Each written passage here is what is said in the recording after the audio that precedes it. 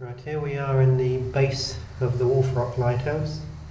I'm um, facing the phosphor bronze sort of gunmetal doors that are, are shut to keep the sea out.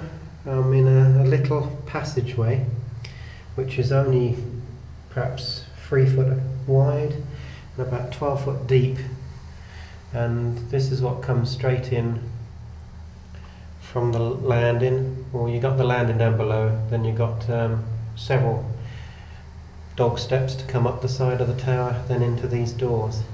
Now the doors are fastened by two great big um, bronze latches that uh, come out from the walls and sort of drop down into slots to hold the door against any sea. And there's two bolts, one at the top, one at the bottom. These doors overlap each other and they weigh many tons, I should think. Great big bronze jobs. And then to make certain nowadays, they have a couple of thick planks of wood here that they hammer into place to, to further sort of bolster it against the weather. The station now being unmanned, of course, it's now um, Friday the 2nd of December 1994. And the first thing you come as you come down this passageway. Is on your right, looking into the tower, is the uh, life belt with Wolf Rock Lighthouse written on it and a couple of ropes hanging up there. Now this place would normally be where under the floor would be stored the, the water for the keepers, but now it's unmanned. This whole area now is full up with fuel tanks, stainless steel tanks and they tower above me, um, I'm five foot five and a half, and these are good six foot, perhaps seven foot high, and there's six tanks in all. I'm looking up above me head, just above the the passageway when it as it opens up into the room where the tanks are, and it's got maximum fuel there. Um, looks like 6,800 litres of diesel.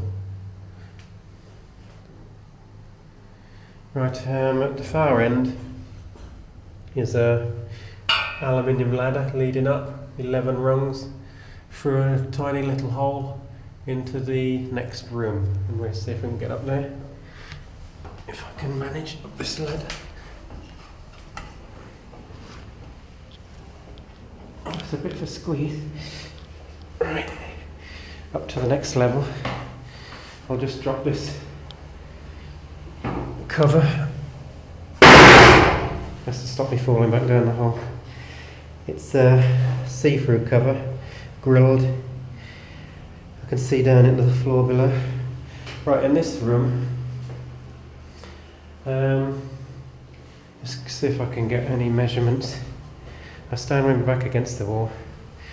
One, two, three, four, five, up against the next wall, five steps. Uh, there's only one window in this room, and uh, that's totally blanked off against the weather again. And it's probably about three foot deep, the window, the recess. So that's how thick the wall is at this level. Uh, granite blocks this place is built with. In here is just some pumps, four pumps on the floor. This is all the automatic stuff, pumping the fuel and a hand pump on the wall.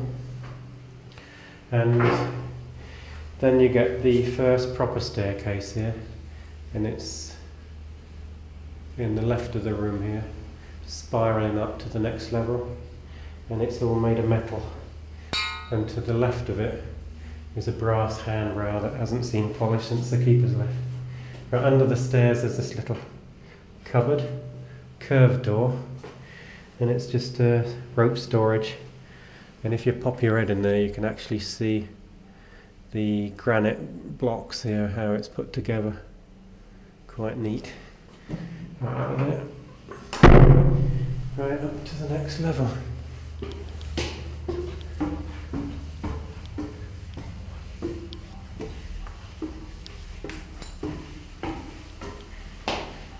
Right.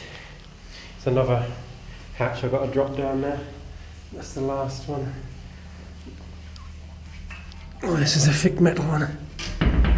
Oh. Right, that one's totally blanked off, you can't see through there.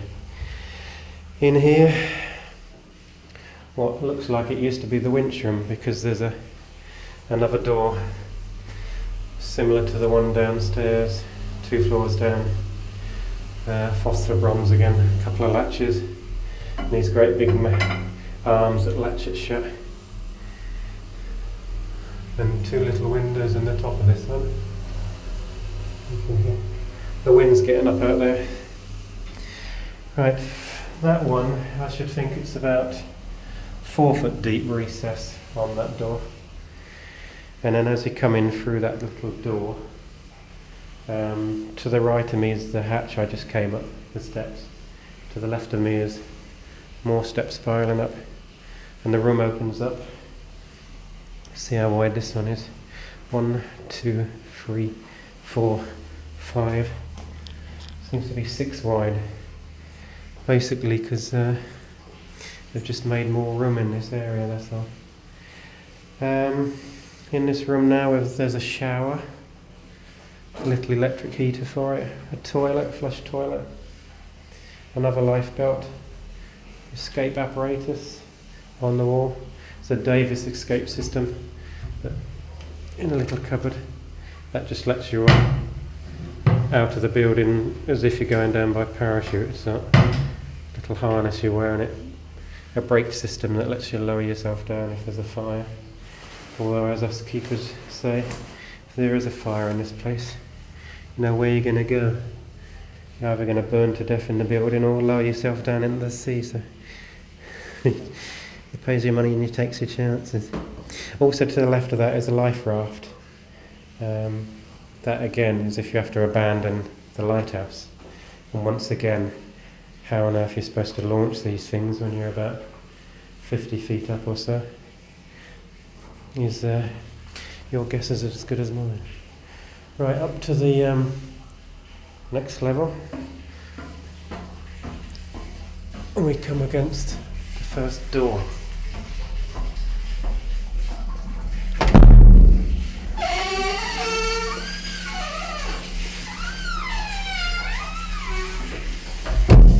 This comes into a little um, sort of balcony area, and you've got a window on our left leading out to the outside world It's only a couple of feet deep. And inside is another room.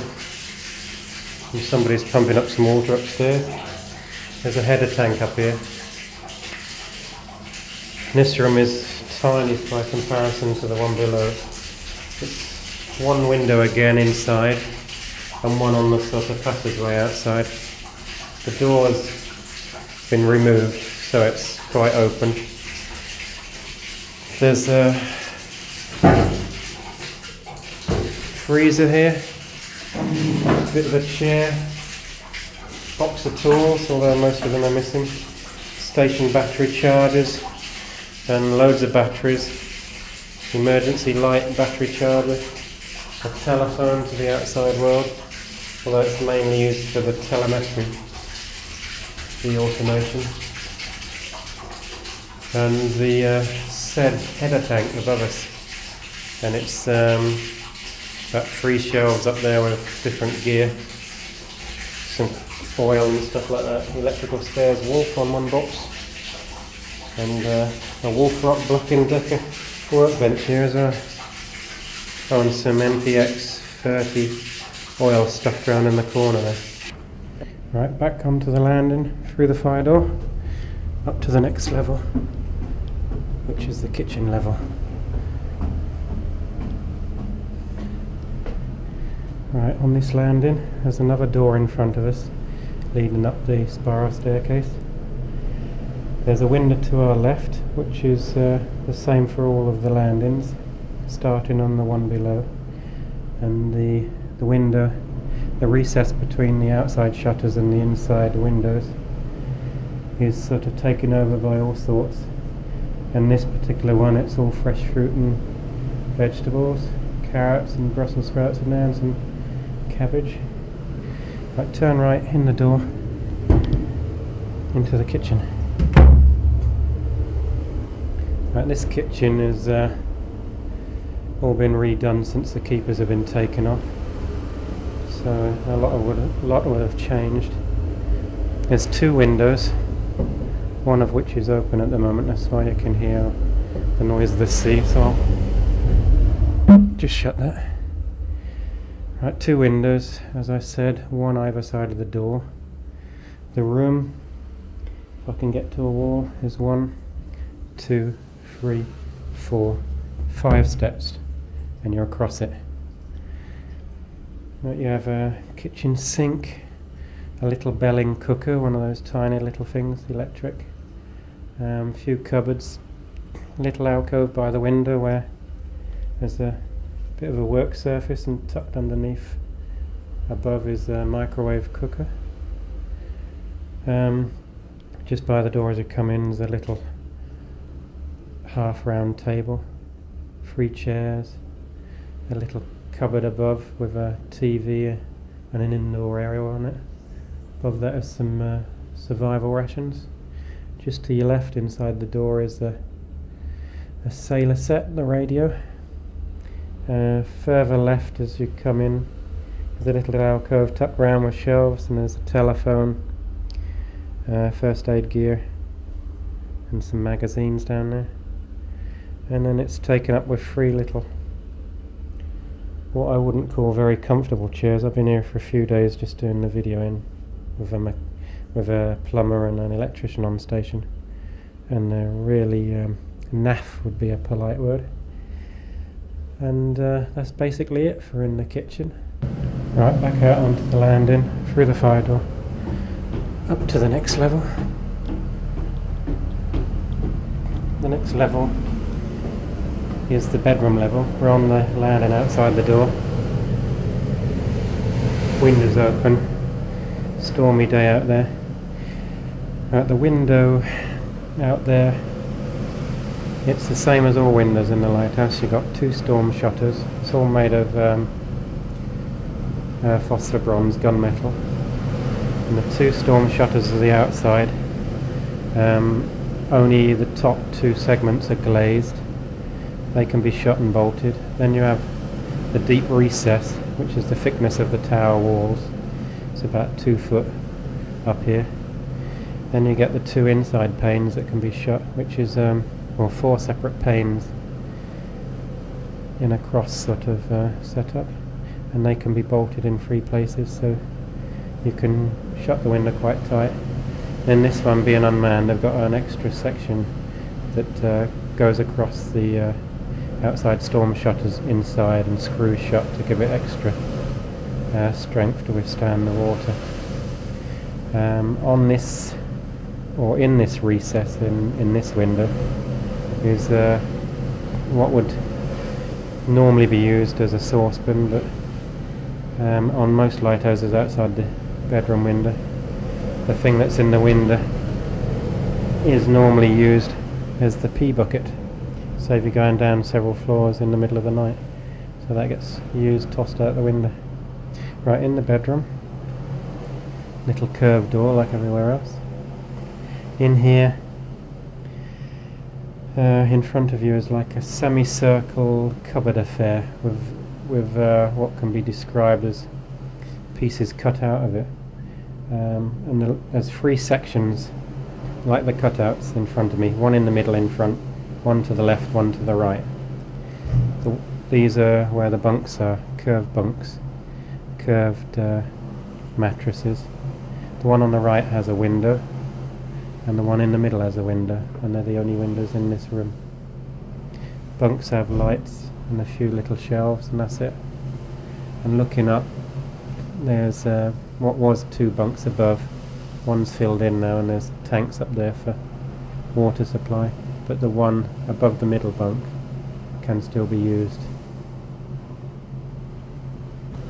Below the bunks there's a row of uh, little cupboards with lockable doors.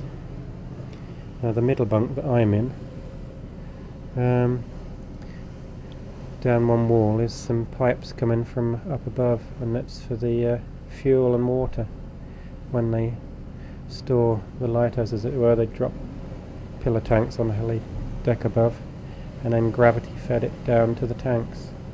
So at the foot of my bed, about a foot from the end, there's a little section cut out of the mattress so the pipes can go through, which is different to say the least. I'll just uh, close the bedroom door a bit so I can hear myself speak.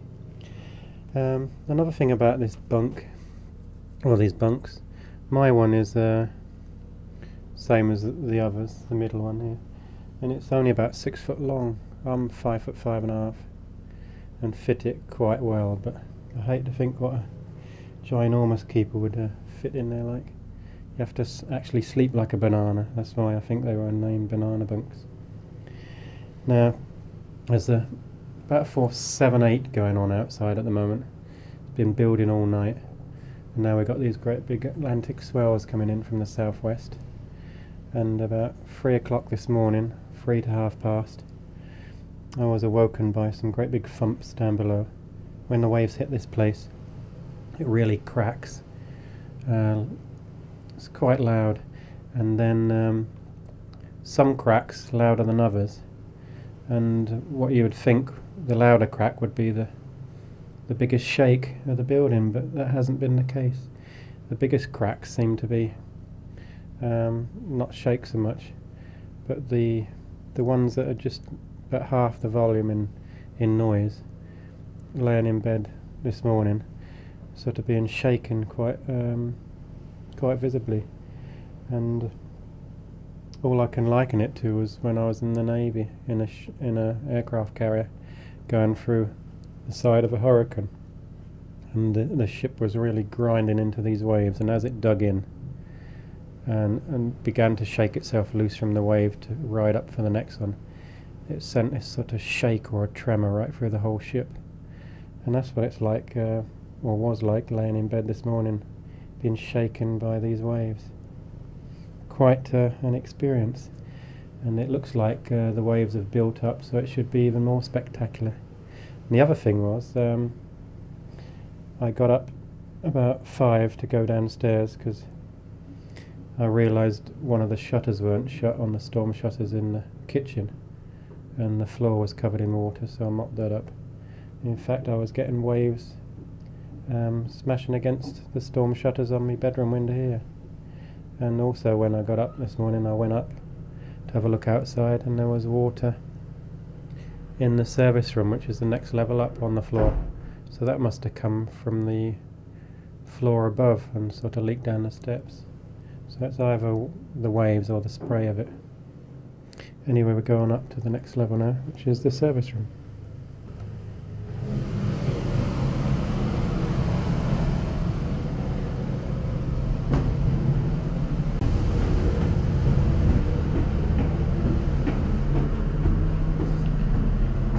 Fire door in front.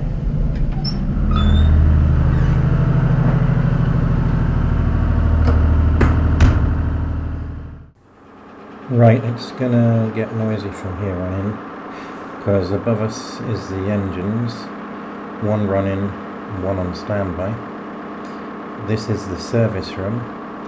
It's uh, what can be politely called as cluttered, and there's four windows in here. All the storm shutters are sealed on the outside. In here you have the microwave link and telemetry for the computer control in the lizard, fog signal control cubicle, and the navigation light cubicle, telling you about the main and second main, etc. You've got loads of electrical cabinets on the wall, and in a bit of a space between the two doors, the one coming up and the one going up to the engine room, uh, level is a fridge freezer and that's what uh, we've got in our gear in. So when you actually come round to get any food around this place, it's up and down all day, going from freezer to kitchen and kitchen to freezer, etc. And to the side of that is a box about six feet high for plant A and plant B, uh, telling you what the engines are doing. Then there's a door to more s- deep flight of steps going up to the engine room itself. And the engine room is going to be rather noisy, so I won't be able to speak up there. Well, I've actually passed through the engine room uh, where there is two Hawker Siddeley listers. One's on and one is standby.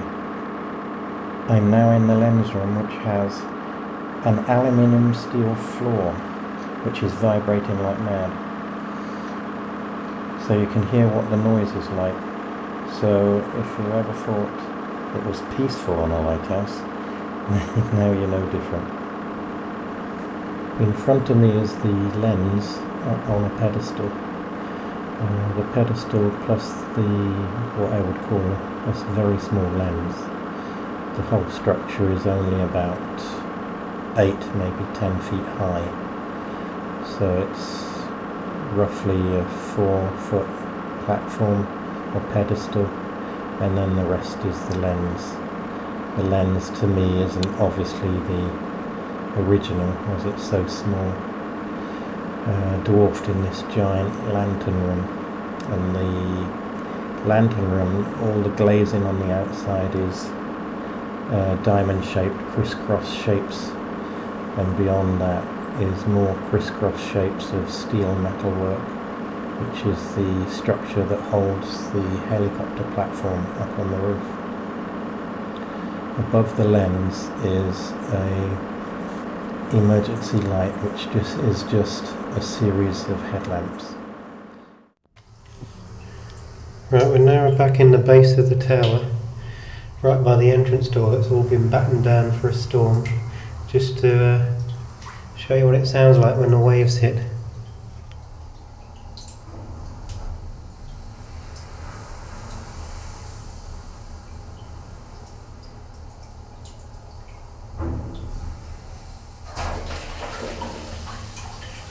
Got some water squirted in the door now.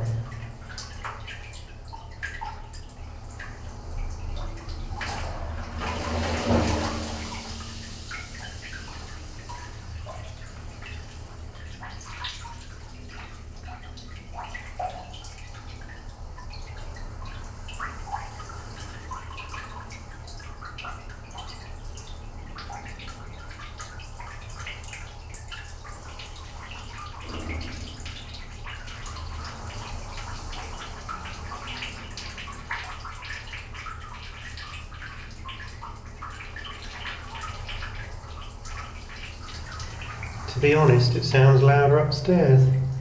But, uh, and you can't feel any movement down here, but upstairs, it done half uh, trembled the building.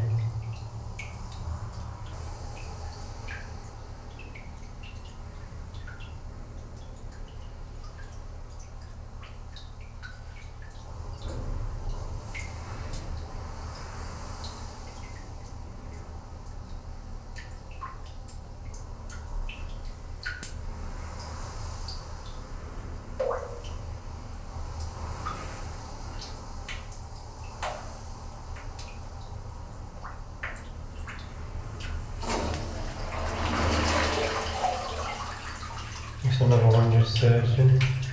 Luckily, the prevailing wind takes it past the door.